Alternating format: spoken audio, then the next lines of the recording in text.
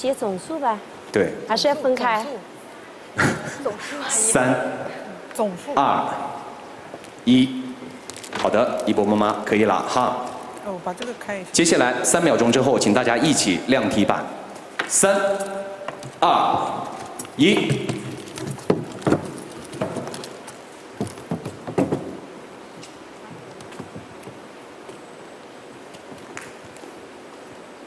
反正不知道多写一点。好的，T O 姐姐给出的答案是七四九，OK。好的，我们看一下，这位您是？对不起啊，我看不太清楚数字。我先写到八百五十三，我先写到八百五十三，后来我觉得有什么漏掉了，对，对不起，我看不清楚啊。我们正好一样的。您用话筒说。要滑稽啊！我说加八加七，我是蒙了一个数，降到一千二。一千二。好的，七百多，罗妈妈给的是一千二。对，然后我就害怕了，然后我就我们看杨凡妈妈七二六，一博妈妈七五零，何丽妈妈六九零，对吗？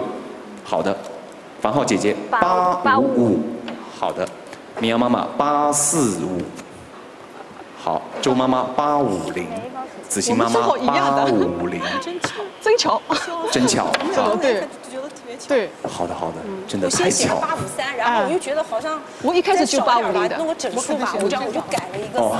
零，好的好的，我一开始我一开始想到一块儿去了啊，对，嗯。就，大概的。我没有改，我好。就写这个接下来为大家报告正确答案。太多了。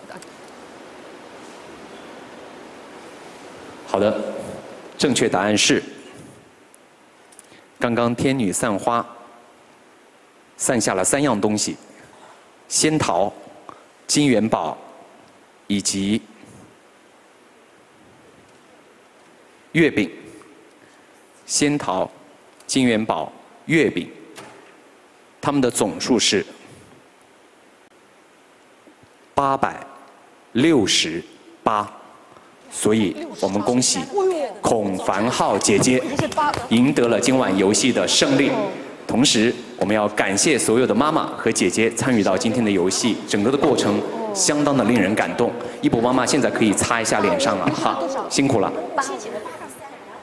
哦哦，我一个蛮好些，好的些八八六零那个，这些都是什么？哦，所以数量最接近正确答案的是孔凡浩姐姐，她将为自己最爱的孔凡浩赢得置换权。再次恭喜孔凡浩姐姐，再一次谢谢所有的妈妈和姐姐参与到今天晚上的游戏当中，谢谢大家，辛苦了，谢谢。对对对对，对对对，我是加上，一下子就加五十好的。，接下来我们可以回到别墅当中，跟房客再聚一聚哈，跟自己的孩子、跟自己的弟弟、妹妹好好聚一聚。我现在差不多了，加。